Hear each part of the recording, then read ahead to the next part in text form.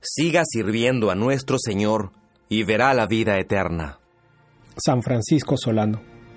Hola, te saluda Luis Enrique Cam.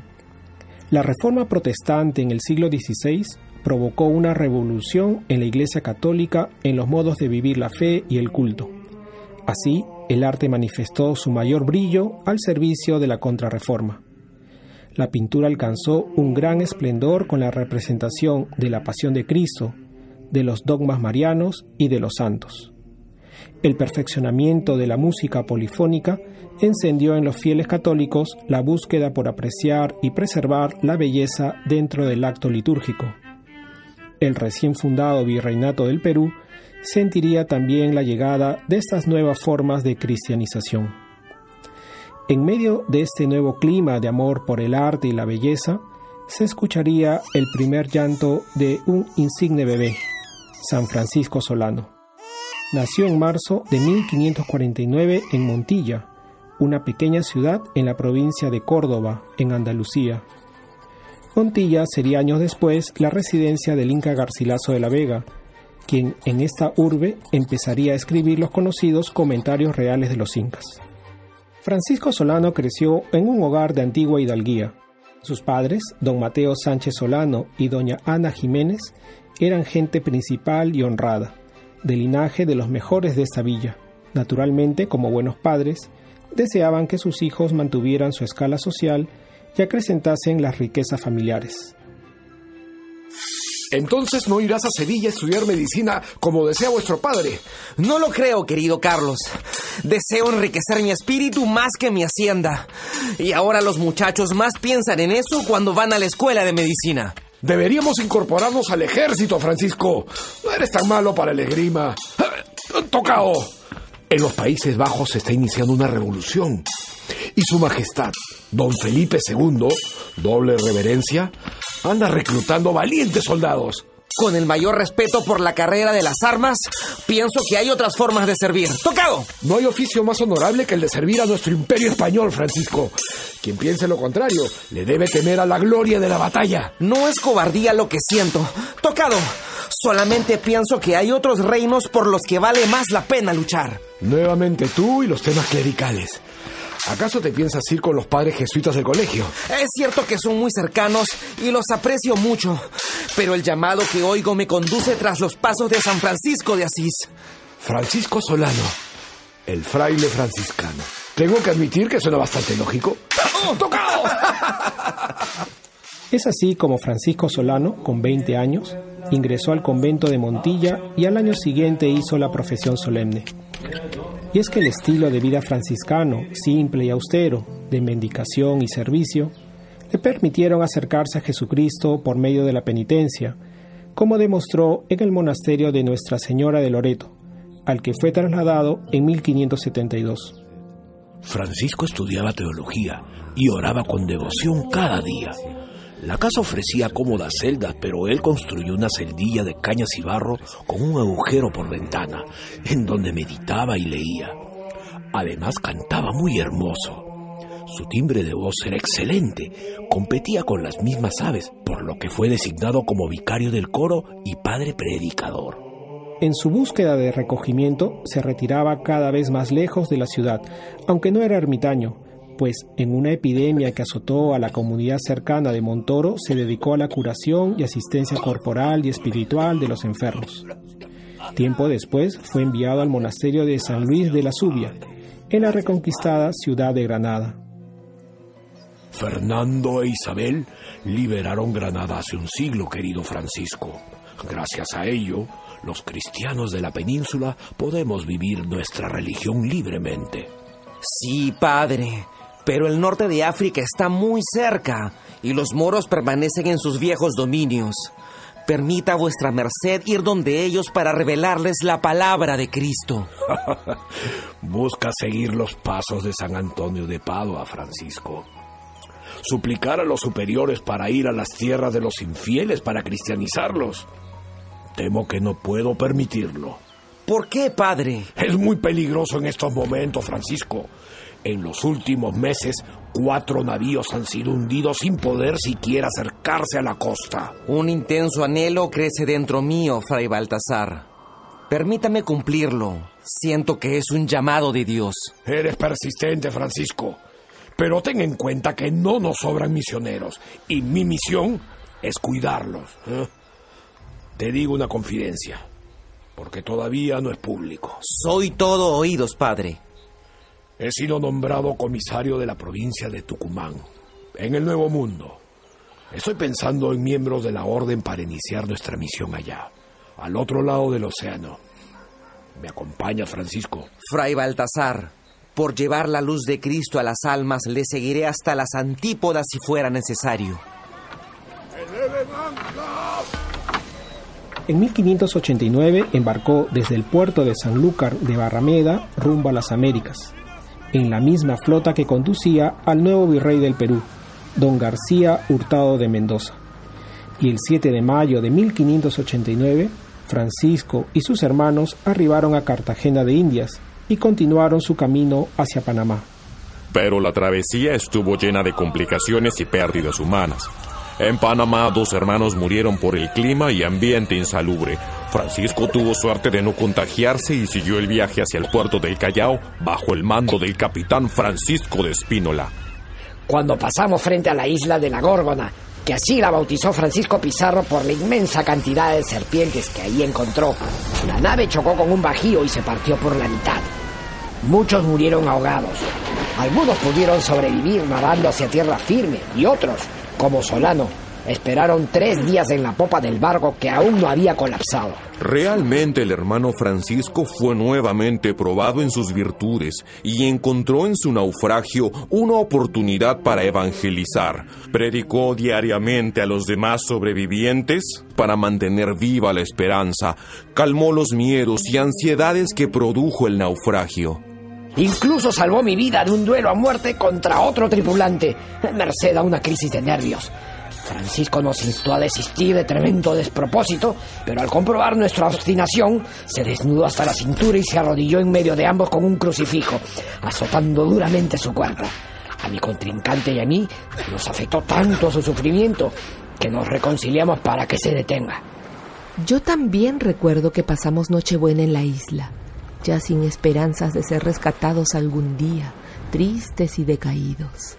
De pronto apareció el padre Solano cantando unas coplas al niño Jesús recién nacido, pidiendo a todos que le diesen albricias con mucha alegría, porque ya venía el socorro. Así todos quedaron muy consolados y animados. Sabíamos que por medio de aquel Santo Padre nos había de venir el remedio. Finalmente, en 1590 llegó el rescate a la isla de la Gorgona y Francisco Solano, junto con sus compañeros de infortunio, pudieron trasladarse al puerto de Paita. Desde allí emprendió su camino hacia Tucumán, únicamente a pie, pues los frailes tenían prohibido cabalgar como señal de penitencia. Crucé la cordillera de los Andes por las provincias que el arzobispo Toribio de Mogrovejo no pudo recorrer. Primero pasé por Jauja, Huamanga y Cusco quedando impresionado por la sencillez y buena voluntad de los naturales, con la belleza de los paisajes y las ciudades construidas en piedra.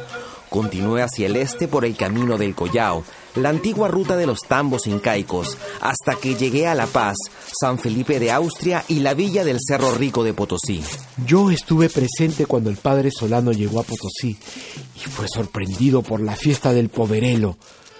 Nunca había visto un padrecito tan alegre, cantando y bailando juntamente delante de todos, con tanto espíritu y fervor que traía el rostro tan abrazado en el fuego del amor de Dios. Tuve que seguir mi camino, así que avancé hasta Tupiza y enrumbé hacia Jujuy y Salta. Finalmente, en noviembre de 1590, llegué a Santiago de Estero, cabeza del Tucumán. No solo tenía la misión de evangelizar a los indígenas de diversas etnias, sino la de defenderlos del abuso de las autoridades españolas. Por varios años estuvo Francisco entre Tucumán y Córdoba predicando y bautizando a un gran número de nativos, estudiando su propia lengua y apoyándose de su violín de dos cuerdas para evangelizar. El padre Francisco andaba con tanta alegría y devoción como sargento del cielo entre los nativos, salvándonos de los azotes y enseñándonos toda la noche sin descansar la palabra de Cristo. Cuando la recolección de Nuestra Señora de los Ángeles fue fundada en Lima en 1601, Fray Francisco Solano fue llamado para ocupar el cargo de guardián. El llamado convento de los descalzos era un lugar alejado del bullicio de la ciudad. El convento estaba destinado a brindar un lugar de descanso corporal y espiritual a los frailes que realizaban largos viajes de misión por toda la costa, sierra y selva del Perú. Sin embargo, cuando Francisco Solano llegó al convento, se dio cuenta de que la población de Lima se había descaminado de la recta moral. El 21 de diciembre de 1604, a media tarde, el fraile marchó con santa ira hasta la Plaza Mayor. Miren, ese curita está parado sobre una mesa en aquella esquina. ¿Qué le pasa? ¿Ese no es acaso el padre Francisco Solano de los Descalzos? ¡Limeños! Oigan lo que he venido a decir. La ciudad de los reyes no es más tierra de santos. Pobre padre, parece que está mal de la azotea. La oscuridad ha llegado a cubrirla en forma de pecado e hipocresía. Las miserias que los afliges he venido a extirpar de sus almas, pues de otro modo es Dios quien los castigará. Yo no cambio que me prediquen frailes descalzos. La ruina ha llegado a Arica y Arequipa en forma de terremotos y pestes por el pecado de los hombres. Arrepiéntanse y no lo veréis en Lima. La tierra tiembla, los templos se quebrantan y nosotros tan duros. Este curita nos va a arruinar el negocio. Callad, hombre. Este fraile habla con la autoridad que da Dios. Fustigo a los lujuriosos, a los avaros y a los soberbios acudan al sacramento de la confesión, porque Dios es amor y su perdón es paz y bien. Tiene razón, Padre. Hemos pecado contra Dios. Que el Señor perdone nuestras faltas. El discurso convirtió a los pobladores de la ciudad. Inmediatamente, hombres y mujeres arrepentidos acudieron a los confesionarios. Todos los templos tuvieron que abrir y el Santísimo Sacramento tuvo que ser expuesto. Tal fue la conmoción que generó el santo que el entonces vicesoberano, conde de Monterrey y el arzobispo Toribio de Mogrovejo se vieron obligados a intervenir. Sin quererlo, la interpretación apocalíptica de las palabras de Francisco le devolvieron a la ciudad la virtud que había perdido. Era evidente su maestría retórica para proclamar la palabra de Dios, pero también utilizaba un bello recurso, la música. El rabel era el instrumento con el que acompañaba la fuerza de sus palabras. Con las dos cuerdas que tenía el santo, tocaba y cantaba canciones divinas, con tal melodía que suspendía a sus oyentes y él mismo se quedaba muchas veces suspenso a su armonía. Así es, la música de Francisco glorificaba a Dios en cada nota y era capaz de encontrar la armonía universal entre el sonido del rabelillo y los demás elementos de la creación. La música sacra lo acompañó hasta el final. Cuando su voz palidecía y apenas podía hablar, a los que le visitaban les pedía que recitaran o entonaran cantos a María. Nunca se quejó y hasta al médico que lo visitaba le gastaba bromas y palabras apacibles. Buenos días, Padre Francisco. ¿Cómo se encuentra esta mañana? Como el Señor quiere, doctor. Doctor, nuestro hermano no ha estado comiendo muy bien. Un solo sorbo de caldo le empacha el estómago y siempre deja a la mitad mi higadillo de gallina, que vuestra merced da fe que me sale delicioso. Padre, sabe que debe comer bien si lo que quiere es recuperar fuerzas y sanarse. Ay, doctor, ¿no se da cuenta de que Dios me quiere cerca de él? Si de esta enfermedad me tengo que morir, estoy determinado a hacerlo. Francisco comulgó por última vez el 12 de julio extremadamente débil, con mucha fiebre y fortísimos dolores de estómago. De repente logró soltar una palabra. Madre, ¿dónde está Nuestra Señora? Está de fiesta y le espera vestida de reina.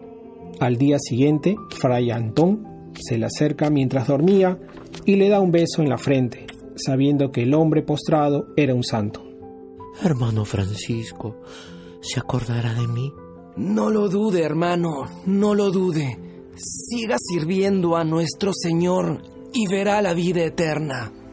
En la mañana del 14 de julio de 1610, una bandada de pajaritos entró cantando por la ventana de la habitación del padre Francisco, quien postrado exclamó su último deseo.